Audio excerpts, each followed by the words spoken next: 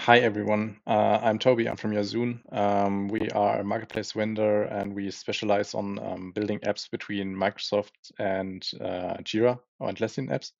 Um, and I wanted to give you a quick overview about the retirement of the Office 365 connectors um, that's about to happen in a few months um, and how that might affect your uh, automation rules. So, what is this about? Um, Microsoft is trying to move a lot of um, customers away from these uh, Office 365 connectors um, and onto their workflows platform, which is um, based on Power Automate. Um, how how might this be affect you, uh, affect you? Um, so we have, for example, if you have um, an automation rule in Jira, which where you use this uh, send Microsoft Teams message action um, you might actually be affected because this is actually under the hood using uh, the, the Office 65 connectors, um, which will stop working in October.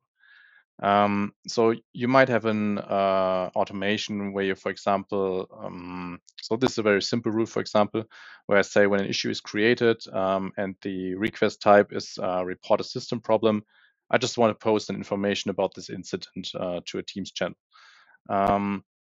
And this is how this would currently look like. Um, I have an incident channel in my Microsoft Teams here, and um, the Atlassian automation bot would be posting this um, message once an incident has been created.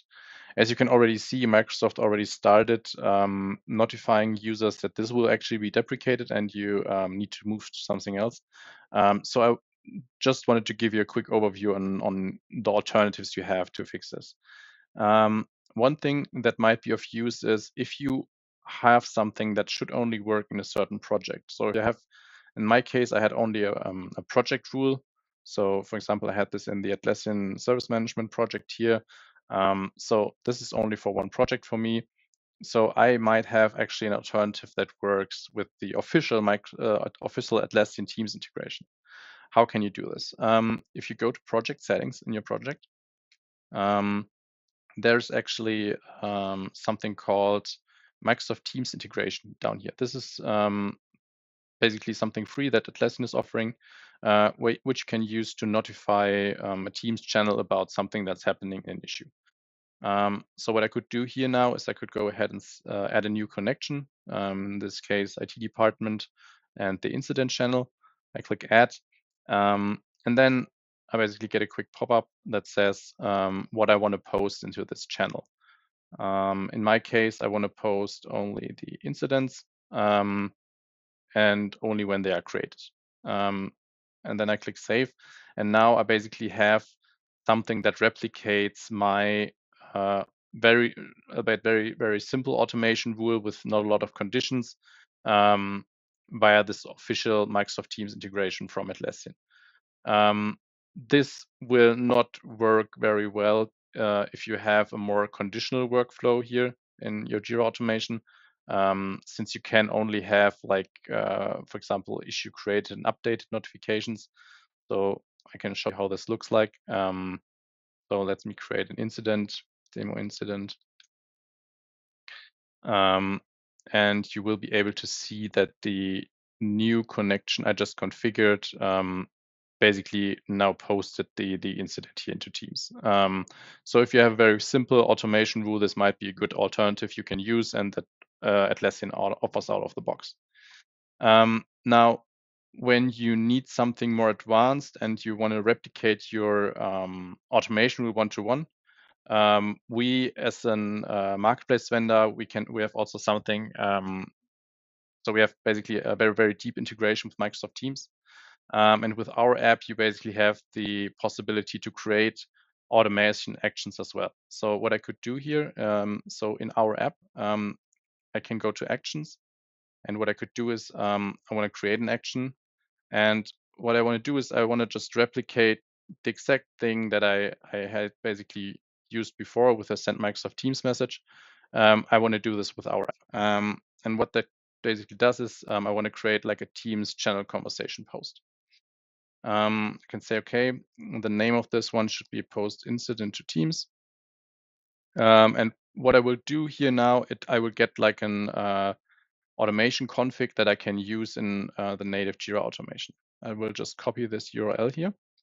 Um, and I will just remove the existing send teams message action, add a new action, um, in this case, uh, send web request action.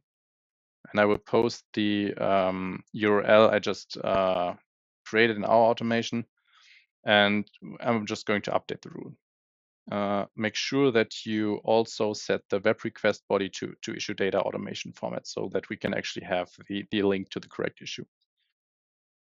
Just update now. Um, I'm going to, then in our automation config, I'm just going to select the correct incident channel.